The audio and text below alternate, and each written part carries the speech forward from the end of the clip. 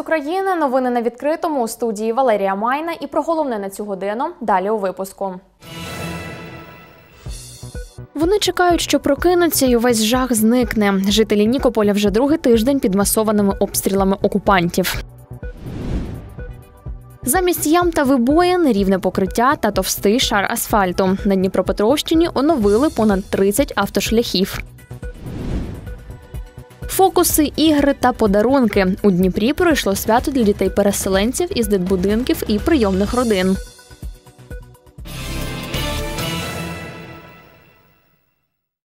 Про це та інше більш детально. Пошкоджено 53 приватні будинки і 12 багатоквартирних. Там понівечено понад півсотні осель. Це оновлені дані по апостоловому, який в ніч проти п'ятниці зазнав ракетного удару. Агресор випустив по місту сім ракет, вщент зруйнувавши три місцеві ліцеї. Осколки від снарядів потрощили розташовані поряд будинки місцевих жителів. Через обстріл було поранено восьмеро людей, трьох ушпиталили, двоє у важкому стані.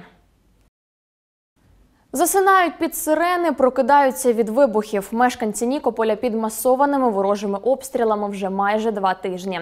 Через атаки агресора у місті зруйновані зо три десятки приватних будинків та понад кілька десятків багатоповерхівок. Комунальники латають дороги та ремонтують понівечені будинки і мережі між атаками окупантів. Місцеві зізнаються, мріють одного дня прокинутись, побачити мирне небо і зрозуміти, що українська земля нарешті вільна.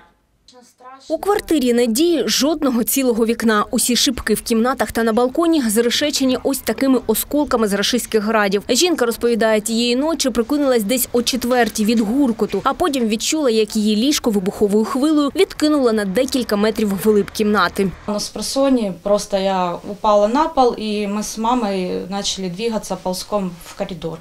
Вот, сели в коридоре, схватились аж за друг друга, потому что дом он ходуном ходил.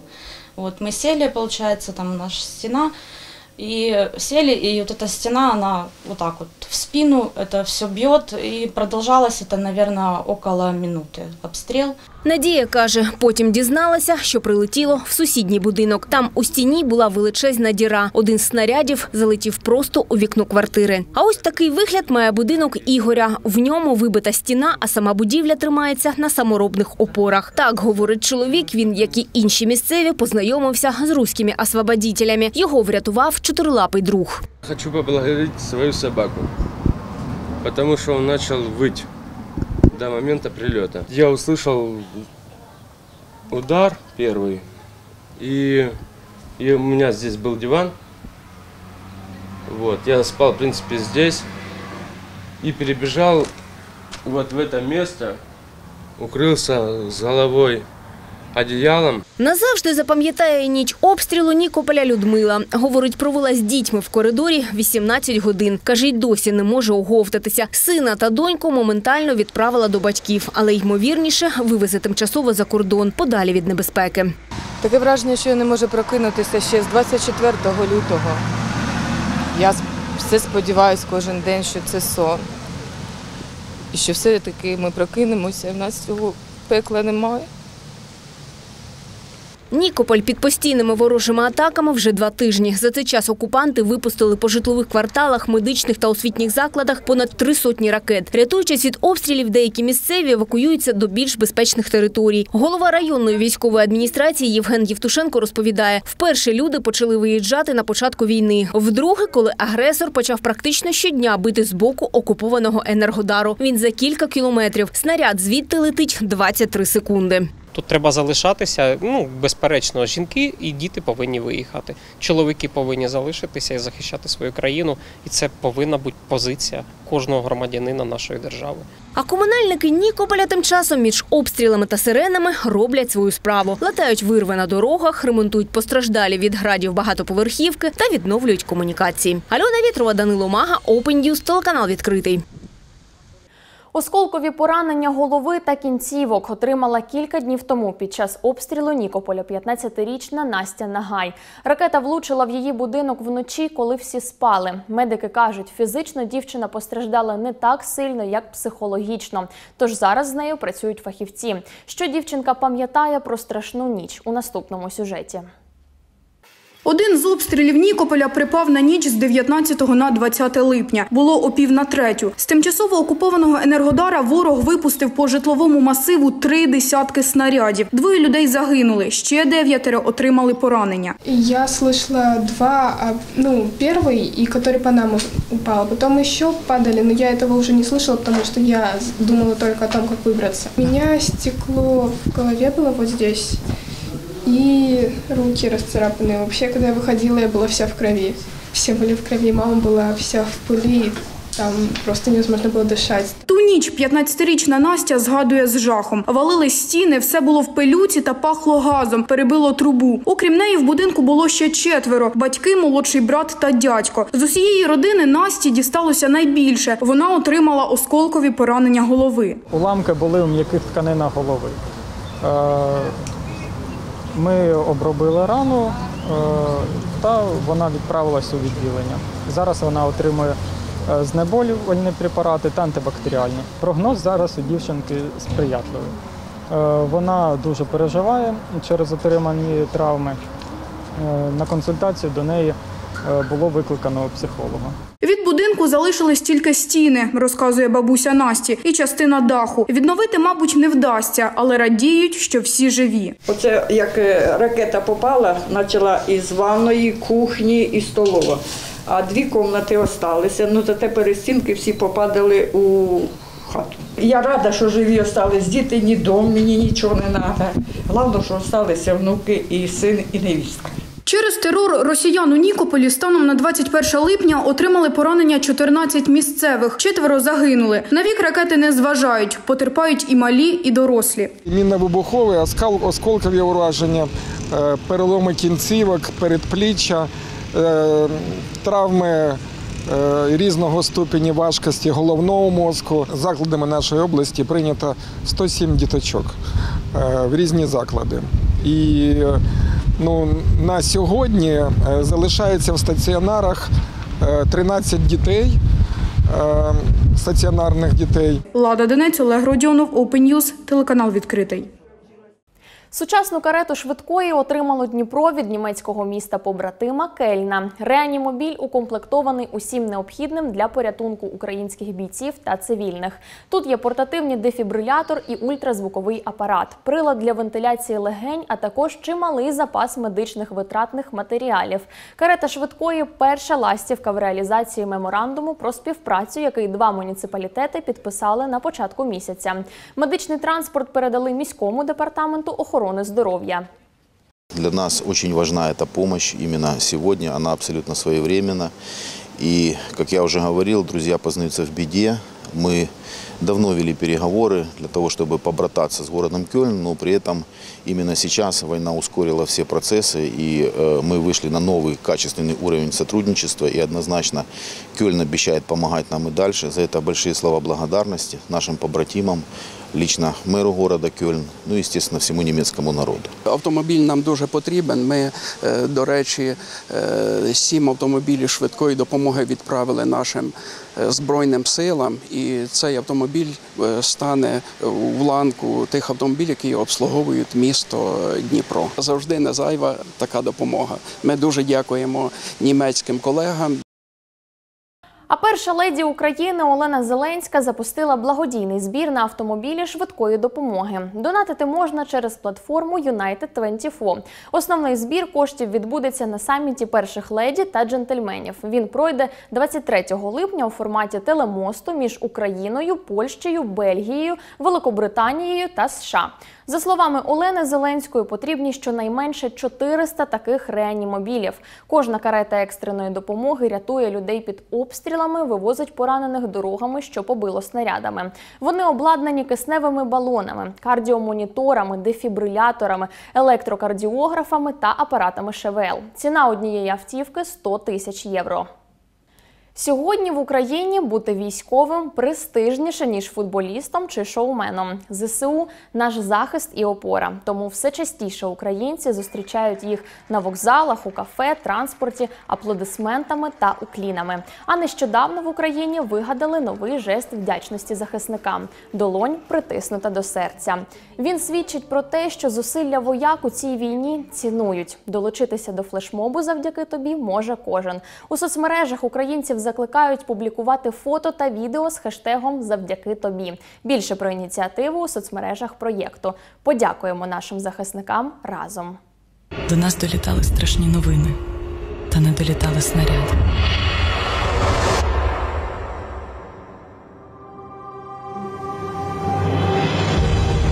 Наше поле соняхів знов збиратимуть.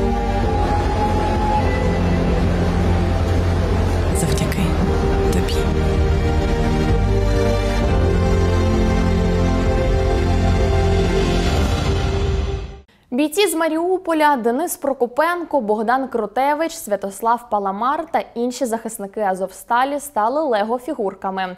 Відомий розробник конструкторів на військову тематику Ендрю Бікрафт присвятив новий сюжет своїх виробів їм, аби підкреслити мужність та витривалість українських героїв. Цитую: Азов, морська піхота, Національна гвардія, прикордонники, добровольці тероборони та інші захисники Азовсталі, які трималися в Маріуполі майже три місяці, загальмували російську армію та дозволили Україні виграти битву за Київ. Пам'ятай Азовсталь. Кінець цитати.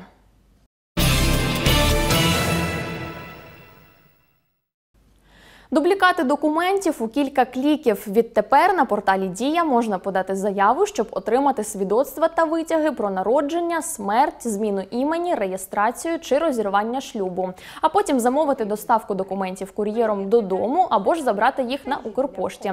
Про це розповів міністр цифрової трансформації Михайло Федоров. За його словами, через війну багато українців втратили документи або не встигли забрати їх із власних будинків. Тому так важливо швидко та зручно отримати нові. Оформити документи можна як для себе, так і для найближчих родичів. Раніше для отримання дублікатів, свідоцтв та витягів потрібно було ходити до державної реєстрації актів цивільного стану двічі і стояти в чергах.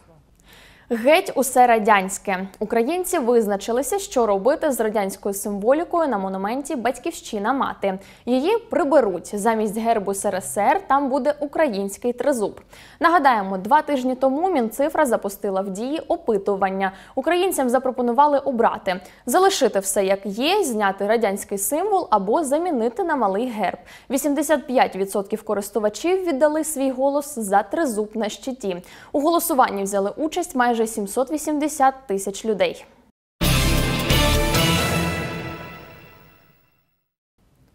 Не знали ремонту десятки років. На Дніпропетровщині оновлюють дорогу в Дніпровському районі. Замість ям та вибоїн рівне покриття та товстий шар асфальту. Такі ж самі зміни цьогоріч відбулися ще з понад 30 автошляхами області.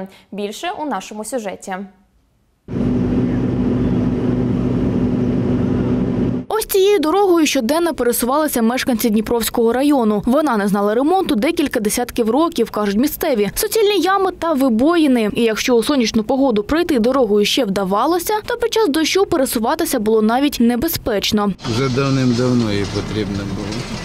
То що, ну, ну скажімо так, її не було тут дороги. Одні ями. Через поганий стан дороги деякі маршрутки навіть відмовлялися нею їхати, а місцеві водії об'їжджали проблемну ділянку. Тепер мрія місцевих здійсниться. Автошлях ремонтують. Протяженность ремонтированного участка дороги 2400.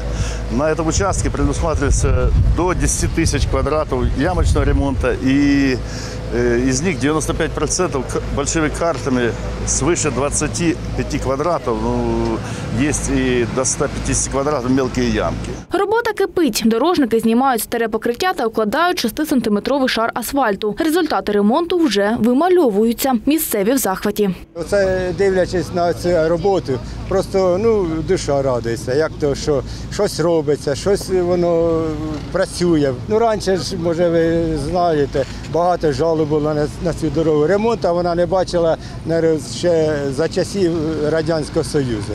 Всі люди так ображалися і скаржилися, і все.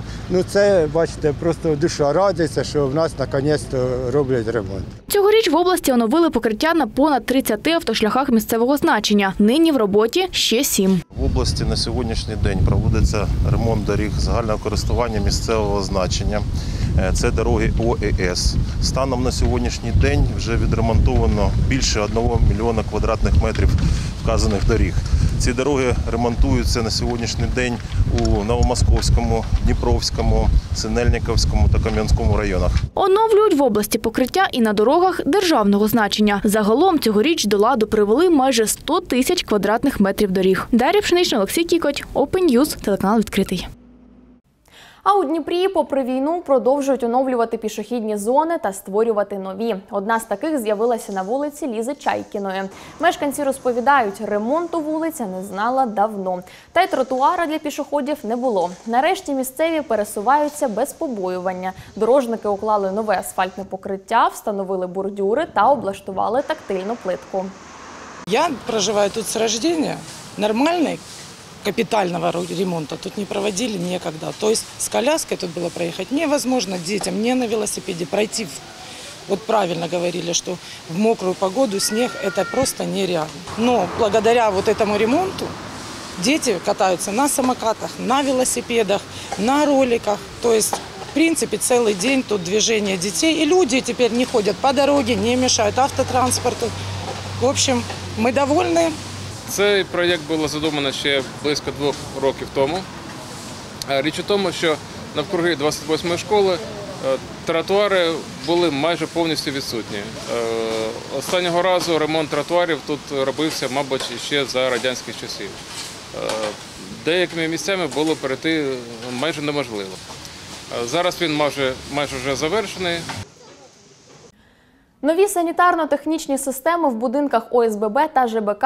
Ці проєкти реалізують у Дніпрі за муніципальною програмою співфінансування. Це коли 25% коштів за ремонт сплачують мешканці, інші 75% йдуть з міського бюджету.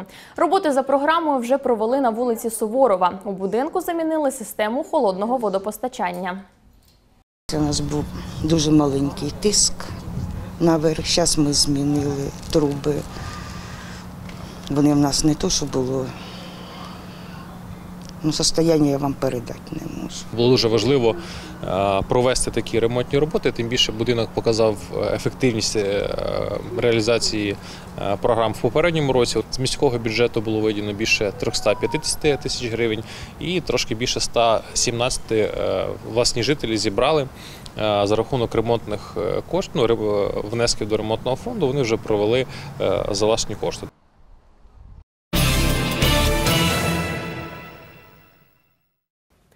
Пандемія коронавірусу набирає обертів у Європі. У Всесвітній організації охорони здоров'я кажуть, кількість нових випадків захворювання на ковід збільшилася втричі, а госпіталізацій удвічі.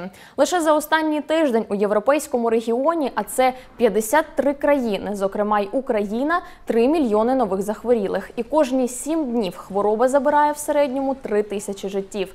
Загалом за весь час пандемії у Європі зафіксували майже 238 мільйонів випадків коронавірусу. Понад 2 мільйони через ускладнення померли.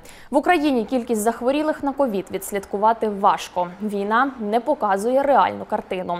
Однак у Польщі, країні зі схожою кількістю населення, за останні два тижні виявили 20 тисяч нових інфікованих. У нас за цей же час трохи більше тисячі. Водночас в Україні дозволили робити друге бустерне щеплення від корони. Про це повідомляють у МОЗ. Однак доступне воно поки не всім. Насамперед людям 60+, та тим, у кого є хронічні хвороби. Вакцинуватимуть у нас Файзером з інтервалом щонайменше 4 місяці після першої бустерної дози. Зазначимо, другу бустерну дозу вже застосовують в Ізраїлі, США, Канаді, Великій Британії, Японії. Рекомендували її вводити і в країнах ЄС.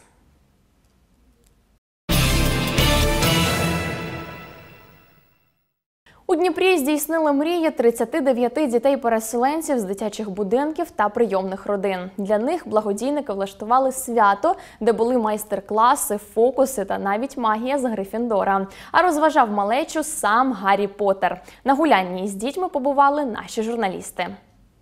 Істоти, домівки, дерева. Спочатку діти малюють піском все, що душі заманеться. Это похоже на голову утки.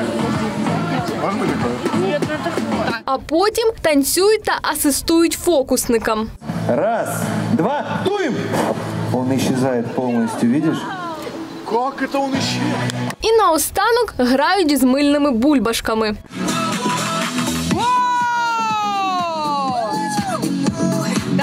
Таке свято у Дніпрі для дітей-переселенців із дитбудинків та прийомних родин влаштували благодійники. Тут, окрім активностей для малечі, підготували ще й виступи аніматорів в образах з Гаррі Поттера. Мені так здається, що напевно є у нас е, така чарівна сила, е, яка дозволяє е, витримати те, що зараз приходиться витримувати. Це підтримка один одного. Це така чарівна сила, яка дає можливість зробити нереальні речі. І от ми підтримуємо діточок, діточки під- підтримують один одного. От і далі, коли вони підростуть, вони будуть підтримувати наступні покоління і наступних дітей, напевно. А вже після жвавих ігор та магічних експериментів, буцімто із магією Гріфіндора, діти сіли в коло на траві, аби помріяти. Бажаннями вони поділилися із нами по секрету. Я загадував, що хотів став- стати великим футболістом і самокатом. Щоб всі були здорові і все було добре в мірі. Новый телефон, потому что мой уже старый. Та не лише телефони, а й планшети, самокати, велосипеди та конструктори. Усе це дітки отримали по завершенню свята. У такий спосіб були здійснені 39 маленьких мрій. Волонтери постарались, та залишилась ще одна. Щоб війна закінчилася. Анастасія Вільхова, Аліна Шевченко, Олексій Кікоть, Open News, телеканал відкритий. Україна в барвах слова в університеті третього віку пройшов конкурс віршів. Головна умова рядки мали бути українською. Переможців визначило професійне журі та самі золоті студенти. Їх імена оголосили на творчих читаннях. Свої твори міг продекламувати кожен охочий.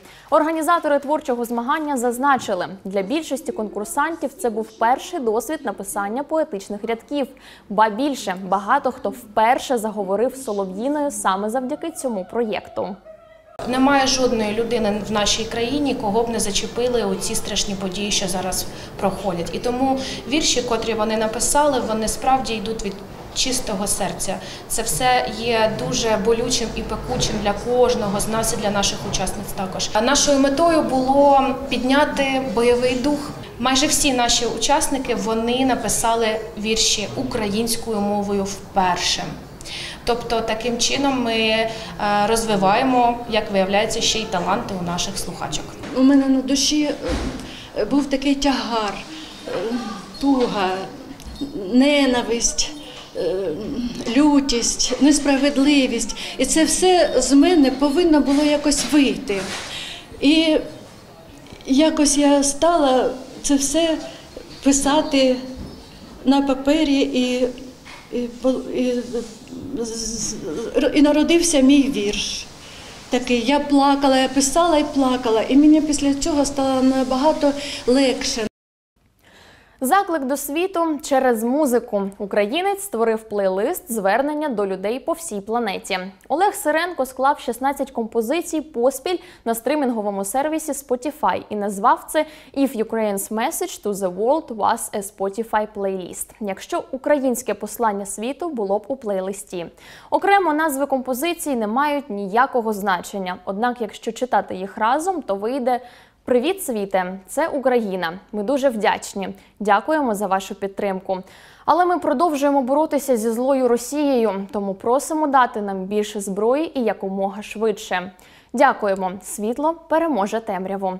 Таким чином, автор нагадує, боротьба українців продовжується щодня, і нам важлива підтримка. Тож слухаємо, ставимо вподобайки та поширюємо. Довічна дискваліфікація у популярній комп'ютерній грі FIFA 23 не буде збірної Росії та російських клубів. Таку інформацію підтвердив розробник серії футбольних симуляторів. У компанії зазначили, ухвалили таке рішення через солідарність з українцями та закликали до припинення війни. У березні компанія видалила всі російські клуби з футбольного симулятора FIFA 22 через вторгнення Росії в Україну, а також припинила продаж ігор та контенту, включно з пакетами віртуальної валюти в Росії та Білорусі. Реліз FIFA 23 запланований на 30 вересня. Біжу за Азовсталь. У Дніпрі 23 липня пройде спортивний забіг на підтримку гарнізону Маріуполь. Масові старти відбудуться одночасно у 15 містах України. На місці старту кожен учасник отримає роздруківку з хештегом Run for Azovstal.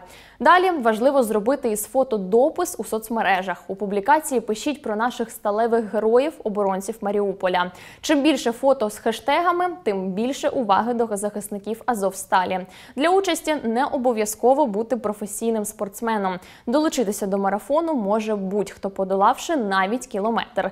Місце збору та більш детальна інформація на афіші у телеграм-каналі Асоціація родин захисників Азовсталі. Треба просто зайти на телеграм-канал Ассоциации, а, распечатать хештег, прикрепить его на одяг и подчас пробігу сделать фото, а потім опублікувати, а, опублікувати його в соціальних мережах. Наша мета підтримати воїнів, що тримали оборону Маріуполя, оборону Азовсталі. На цьому в мене все. Більше новин на нашому сайті та в соцмережах. Сюжети на Ютуб. Тримаємо стрій. Ми мужня країна, Україна.